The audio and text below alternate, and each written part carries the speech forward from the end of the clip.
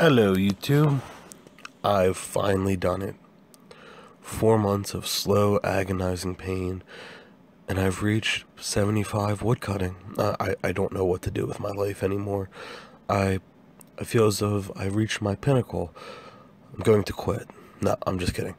Uh, next four skills I have are fire making, fishing, construction, and rune crafting.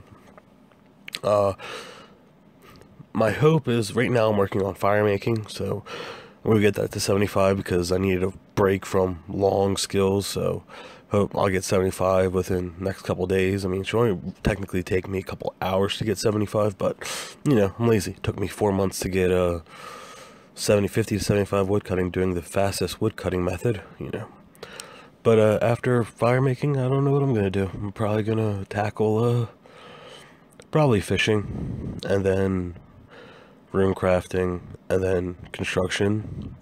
Maybe I'll do rune crafting, then fishing, then construction. But construction from the beginning, I've always planned to be the last skill to 75 because I plan to have like a little all skill to 75 party thing. I don't know. I might do that still.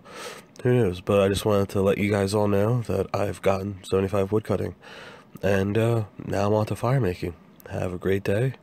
Enjoy yourself. And as always, Toodles.